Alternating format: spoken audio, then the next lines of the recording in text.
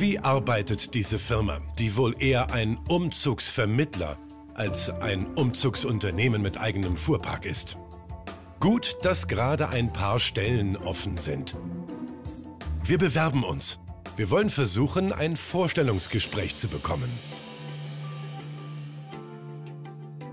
Auf unsere Bewerbung erhalten wir wochenlang keine Antwort. Da hilft nur ein Besuch vor Ort. Ich schicke meine Kollegin Theresa nach Detmold. Sie soll sich an der Firmenadresse umsehen. Die Geschäftsstelle ist besetzt. Ein junger Mann öffnet die Tür. Hi. Hallihallo. Hallo, Entschuldigung die Störung. Selig mein Name. Ich hatte mich beworben und jetzt war ich in der Nähe und wollte einfach vorbeischauen. Ja, am besten kommen Sie einfach rein. Da vorne links. Ja, danke, super. Der Mitarbeiter bittet Sie in einen Konferenzraum. Ein Callcenter gibt es hier nicht. Trotzdem ist Theresa als Bewerberin willkommen. Ich erzähle Ihnen einfach was über das Unternehmen. Ja, das wäre super. Das Unternehmen wurde vor vier Jahren gegründet von meinem Bruder und seinem besten Freund. Mhm. Und mich haben sie nach einem halben Jahr reingeholt. Ne? Dann haben wir Umzüge ausgeführt, erstmal so klein, Drei-Mann-Job, wie das halt so anfängt. Ja. Dann später haben wir den Vertrieb aufgebaut. Der ist dann so gut gelaufen, dass die Aufträge extrem hochgegangen sind. Und die das dann alleine nicht mehr stemmen konnten. Okay. Und dann haben die andere Unternehmen beauftragt. Okay. Durch die gute Auftragslage also wurde das Unternehmen allem Anschein nach zum Umzugsvermittler. Der Mann macht auch klar, die Zeichen stehen weiterhin auf Wachstum. Das Ziel bis zum Ende des Jahres ist auf jeden Fall äh, 100 Mitarbeiter, die nur Umzüge ausführen.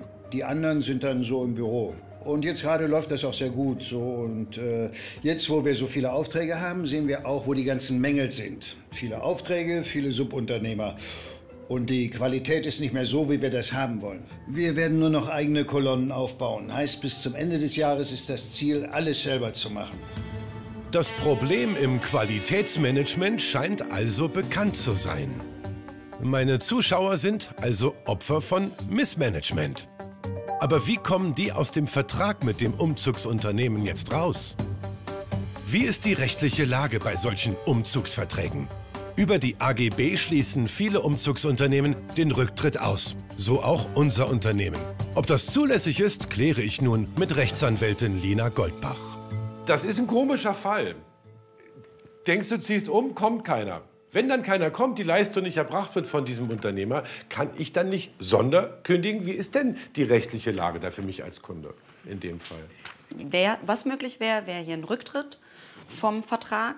Dazu müsste aber natürlich ein verbindlicher Termin bestehen. Also was nicht geht, ist, dass ich jetzt zum Beispiel hergehe und sage, ich mache mal unverbindlichen Zeitraum von bis voraussichtlich am. Den gab es ja hier. Genau, einen festen Termin. Dann könnte man natürlich auch ähm, vom Vertrag gegebenenfalls zurücktreten. Aber ein Blick in die AGBs hilft dabei, weil da steht vielleicht auch was anderes drin. Und genauso ist es ja in diesem Fall. Haben Sie sich die durchgelesen? In dem Fall wurde ja was zusätzlich vereinbart. Nämlich das Rücktrittsrecht, wenn ich es richtig verstehe, ausgeschlossen. Genau so ist, ist das denn überhaupt erlaubt? Das Problem ist, dass der Verbraucher wahrscheinlich überfordert ist im ersten Moment mit so einem Vertrag. Ja? Und dann alles unterschreibt und alles akzeptiert. Und wenn hier bei so einem Vertrag im Kleingedruckten ähm, dann wiederum steht, ach übrigens, dein Widerrufsrecht ist ausgeschlossen, wer liest sich das durch? Fakt ist, es ist von Gesetzes wegen ausgeschlossen. Das heißt, der Unternehmer macht noch nicht mal was falsch. Ja? Irgendeine Chance, da rauszukommen für die beiden? Was würden Sie sagen? Ja. Was ist zu tun? Was ist zu tun? Ähm, wir haben uns ja die AGBs auch mal angeschaut. Und die AGBs sind okay, wenn man es mal so sagt, aber die können deutlich besser sein. Und wenn etwas okay ist, aber deutlich besser sein kann, kann man es auch angreifen. Bedeutet, wir haben hier unklare Regelungen, wir haben auch überraschende Klauseln und wir haben die Möglichkeit, wenn es unklare oder überraschende Klauseln gibt im Recht, immer Schadensersatz zu fordern oder sogar den Vertrag komplett aufzulösen. Ja? Und das ist ein Weg, wie man vielleicht hier wieder an sein Geld auch kommt, indem man sagt, lieber Vermittler, deine AGBs sind unzulässig, mein Widerspruchsrecht greift hier weiterhin. Ich, ich könnte sogar den ganzen Vermittlungsvertrag auflösen. Oder aber alternativ, ich möchte Schadensersatz für die Schäden, die mir jetzt entstanden sind. Danke für die Info. Eins weiß ich, die beiden sind einfach mangels Erfahrung nicht in der Lage, so einen Kampf jetzt zu führen. Und es einfach, da müssen wir ran. Denn Edeltraut Resch und Horst Fischer wollten eigentlich nur unbeschwert umziehen. Haben jetzt jede Menge Ärger und Kosten auf der Uhr. Wer hat sie da hängen lassen und warum? Um das herauszufinden, muss ich jetzt selber zum Telefonhörer greifen. Was seid ihr für ein Laden? Das finden wir nur heraus, wenn wir uns selbst als Umzügler, als Kunde ausgeben. Und genau das geben wir jetzt hier bei denen mal in Auftrag. Einen fiktiven Umzug. Und zwar, mein Kollege hat das ein bisschen vorbereitet, von Bielefeld nach Bremen. Mal schauen, auf was für einen Preis wir da kommen. Ich bestelle jetzt bei denen. Ha! Auf der Webseite kann ich alle Eckdaten des Umzugs eingeben. Adresse, Datum, Größe der Wohnung, Stockwerk und so weiter. Wirkt tatsächlich durchdacht und professionell. Ich verstehe, warum so viele diesem Unternehmen vertraut haben. So, jetzt wird spannend. Meine Daten werden überprüft. Vielleicht bekomme ich jetzt dann auch gleich ein richtiges Angebot. Bin gespannt, was da drauf steht. Natürlich habe ich einen falschen Namen eingegeben. Michael Berg. Und siehe da, ein paar Minuten später klingelt's. Du. Handynummer? Ja, hallo Berg. Hallo, Herr Berg, haben Sie kurz Zeit? Ja, von wo rufen Sie an? Von. Ah. Hallo. Hallo, Herr Berg, nochmal. So, Herr Berg, ich habe jetzt Ihre Anfrage von Ihnen im System offen und ich bin dabei, das Angebot für Sie vorzubereiten. Haben Sie einen Augenblick Zeit? Ja. Die Dame ist freundlich, aber alles, was sie sagt, wirkt vorgelesen. Wie ein vorgegebener Text. Eine Frage ist sehr verwunderlich. Damit wir Ihre wertvolle Zeit nicht verschwenden, ab welchem Betrag macht es keinen Sinn mehr, weiter zu telefonieren? Denn wenn Sie und ich später die Möbel in das System einfügen, dass alles mitkommt bei Ihnen, das kann das System direkt anzeigen, ob wir darüber liegen oder nicht. Und wir verschwenden Ihre wertvolle Zeit nicht.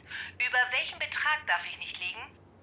Zum Beispiel mehr als 1600 Euro, mehr als 2000 Euro, mehr als 4000 Euro, mehr als 5000 Euro? Äh, na, wenn Sie mir ein Angebot machen, weiß ich erst, wie teuer es ist. Ich weiß ja nicht, wie viel es kostet. Deswegen will ich ja das Angebot haben, wissen Sie? Wie teuer darf's denn sein?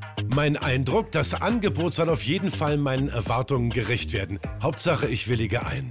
Wie teuer wird er denn nun, mein Umzug? Von 1580.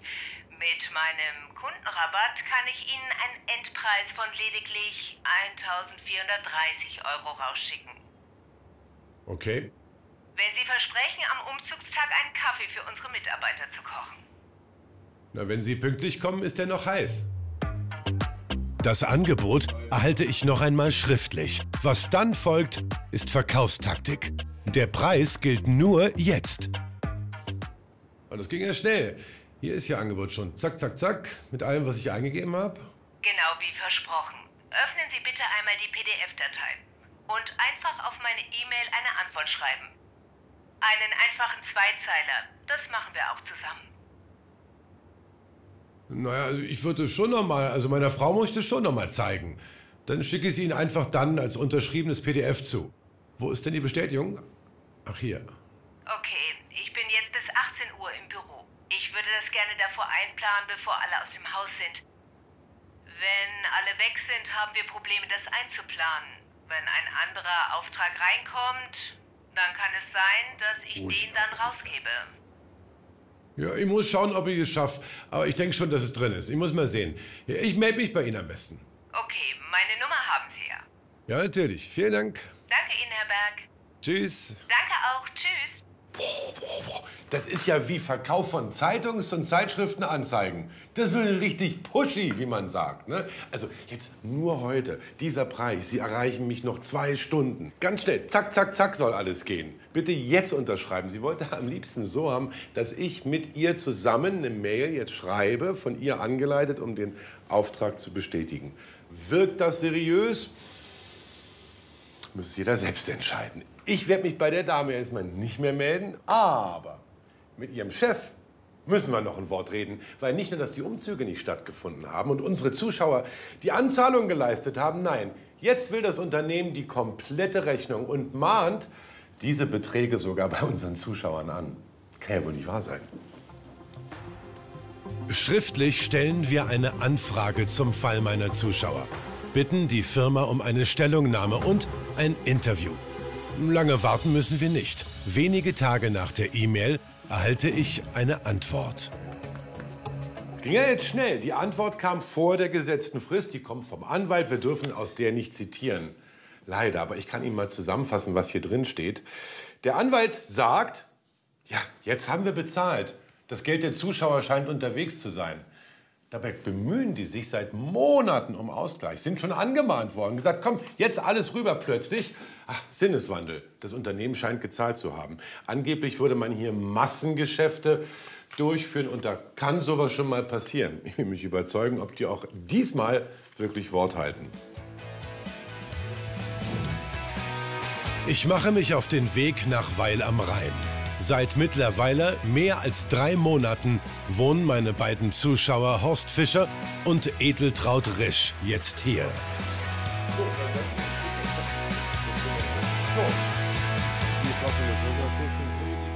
Und wie sind Sie gut angekommen im neuen Heim?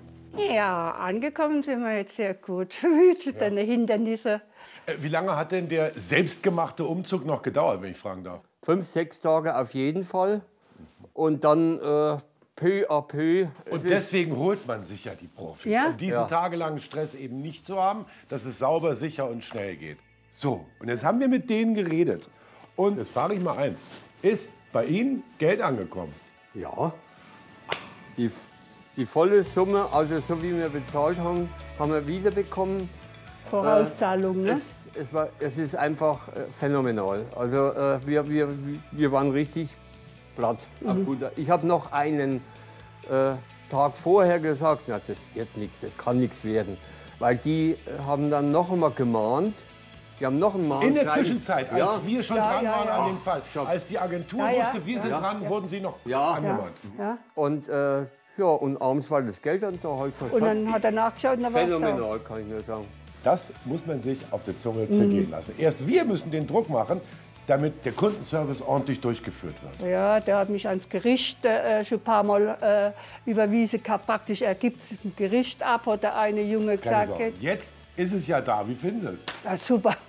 Ja. Es hat uns sehr geholfen. Also 900 Euro sind zurückgekommen, das wissen wir jetzt. Ich hoffe, wir haben da ein bisschen Ah, äh, super, was Walter. tun können. Einfach super. Schön, dass ich helfen konnte. Natürlich, wenn Sie umziehen, lassen Sie sich doch helfen von einem Unternehmen, gar kein Problem. Meiden Sie aber solche Umzugsvermittlungsagenturen.